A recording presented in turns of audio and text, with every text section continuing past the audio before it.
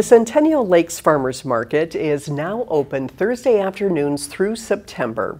The market includes vendors, live music, special monthly kids activities, and the return of the popular beer and wine garden run by Edina Liquor.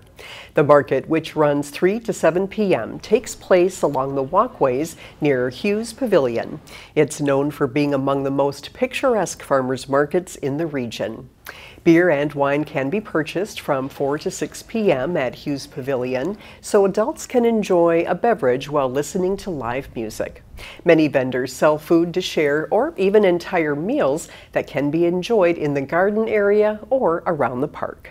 Centennial Lakes Farmers Market's an enjoyable market, not only for the wonderful vendors that we have, but also for the park experience. It takes place at Centennial Lakes Park, the beautiful park in Edina, uh, with a wide variety of different activities to do within the park. So not only can you shop the, the wonderful vendors, but you can enjoy the park experience as well. Have dinner at a picnic table, um, put a line in to try some fishing, try the putting course or paddle boats, just enjoying the park experience in addition to experiencing a farmer's market.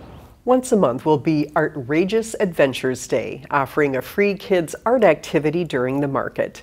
Future dates are July 6th, August 3rd, and September 7th.